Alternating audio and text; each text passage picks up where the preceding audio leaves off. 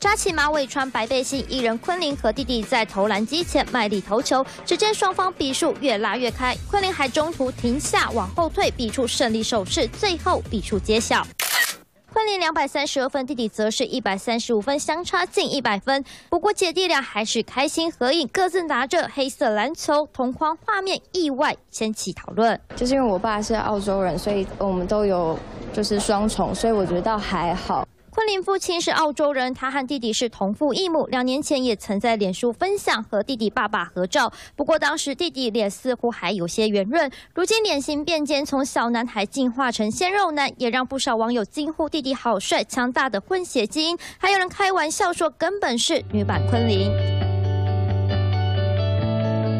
有平面媒体报道，昆凌近来进军好莱坞拍电影，代言费跟着水涨船高，从以往的二十几万涨到一百五十万。二零一四年，她和周杰伦结婚后育有一对儿女，不管是夫妻日常还是家人生活动态，一举一动都备受瞩目。如今弟弟也跟着曝光，是否也将出道成为艺人，引发各界好奇。三立新闻唐寅成、邱小倩台北报道。